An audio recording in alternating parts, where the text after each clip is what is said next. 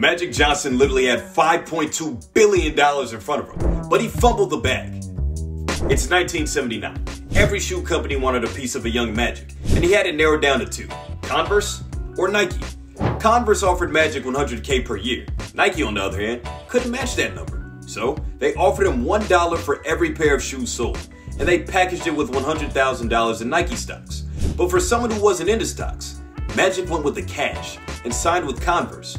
It made sense at the time, but HBO show's Winning Time estimated that those Nike stocks are now worth a whopping $5.2 billion. Magic did well for himself anyway, but still.